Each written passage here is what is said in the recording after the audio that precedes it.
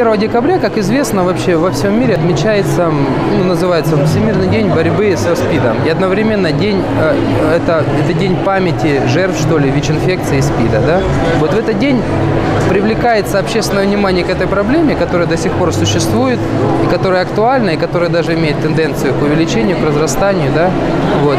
И привлекается это каким образом? Ну, какими-то акциями, какими-то яркими мероприятиями, на котором не просто можно прийти посмотреть, а что-то узнать и ну, как-то обезопасить себя от ВИЧ-инфекции. Сегодня вы проводите квест. Что там квест? Объясните, пожалуйста. Ну, квест это такая, ну, есть ком- компьютерный термин, в общем-то, да, квест это такая бродилка. Вот если кто, ну, молодежи знает, что такое компьютерные игры, ты приходишь на какое-то место, выполняешь задание и идешь дальше. Вот здесь ровно то же самое. Есть ряд станций, на каждой из которых команды будут выполнять задания определенные. Задание построено таким образом, что люди в этот момент узнают что-то новое, дополнительное по ВИЧ-инфекции, по СПИДу, и в том числе научаются толерантному отношению к ВИЧ-инфицированным, которых, в общем-то, они живут среди них, да, являются полноценными членами общества. Как, как нужно обезопасить себя от заражения? Вертикальным путем? Неважно. Предохраняться в первую очередь. Да, да, вот видите? Ну, не использовать всякие иглы, шприцы одинаковые. А, нет, иглы, шприцы – это абсолютно ерунда все. вот у нас биологи есть, которые могут подтвердить, что не, не выживают вне При организма. кислороде, да, они по- погибают моментально. Погибают. Понятно.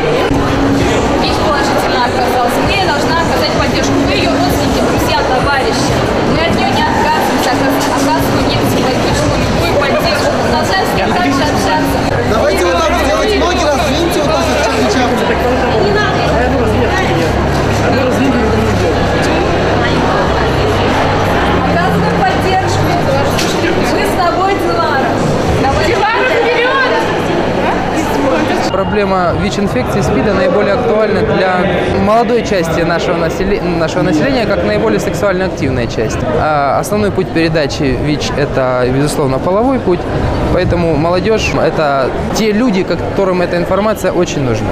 Не советую и вообще не желаю никому с этим сталкиваться, но все-таки 21 век на дворе приходится, к сожалению, к великому, с таким сталкиваться.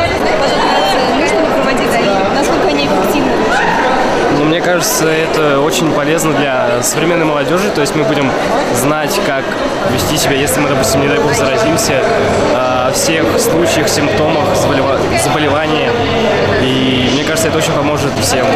Сложно померить результат, ведь он же не в цифрах, не в буквах, а скорее в формировании какого-то сознания, что эта проблема существует и ну, какому-то доброму, ненапряженному, толерантному отношению к ВИЧ-инфицированным. Я думаю, это сложно измерить, но это можно ощутить в нашем обществе.